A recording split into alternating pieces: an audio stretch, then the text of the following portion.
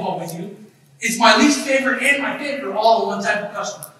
I love the curbside call. If you start making this call, if you got the guts to do it, you will pick up extra car deals, I promise you. Before I get into that, who agrees that we should call back unsold showroom traffic buyers? Raise your hand if you agree with that. Alright? Every hand in the room went up, I think. So we should do unsold showroom traffic follow-up. What if nothing's changed? Should we still call the people back? Raise your hand if you think it's a good idea. Alright? So even if nothing's changed, we should call the people back. If it's a good idea to call the person when they're an hour away, why is it a bad idea to call the person when they're in the parking lot? If it's a good idea to call them when they're 60 miles away, why is it a bad idea to call them when they're 60 feet away? Write this down, please. Call them right now. Not for every customer, not for every salesperson. You can call these people immediately, though. You don't need to wait. You're a few hundred dollars away from a deal. The person's on a hot piece of product. There's a lot of reasons to call the person in right now. And when you do this, you're going to be shocked.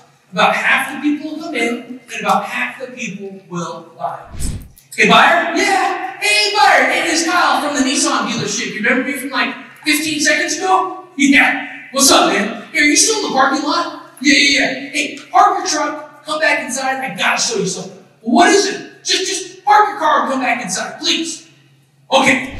If that person parks their vehicle and walks back inside, now I gotta have a little bit of juice, right? The person walks in, you can't be like, I went to this seminar my manager made me go to, and this little fat guy told me to do this. no. You have some confidence, right?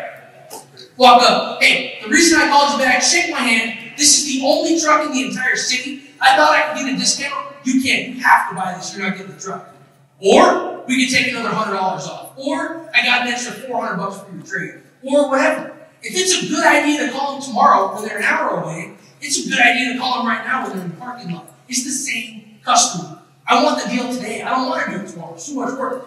I love making this call. I hate making the call the next day because I think it's awkward. I just don't, I'll do it. I do it every time. I just don't like. So, not for every customer, not for every salesperson, but this will pick you up some of our deals.